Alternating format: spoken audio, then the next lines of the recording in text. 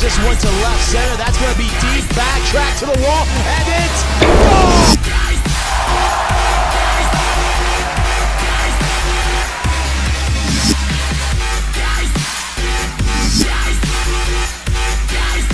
Single throw for it. To the sideline. High. What a catch made. You're watching La Ley Sports, the best in the business. Nick Diaz is only a 10th grader in high school, but personifies the type of dedication of a professional athlete. two recovery runs a week and then we'll have like three workout days and then oh, a long run each week. Sometimes we'll have our races on saturdays so we won't be able to do our long runs because those are the days that our long runs are on saturdays.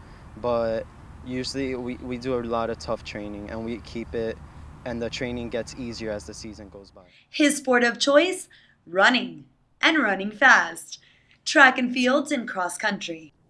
i've been running since third grade so i've had really good coaches that taught me to be humble He's not only a stellar athlete, but excels in academics.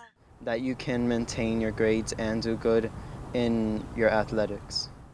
Nick may be a star on his team, but he also realizes It's how there's no individual I sport. in team. Well, the team is really important. Like I said uh, before, at FSU Invite, we had our 15th, our fifth man run a 17:30, and then we had our fourth man run a 16:40, 16:50, and we can't have that much of a gap.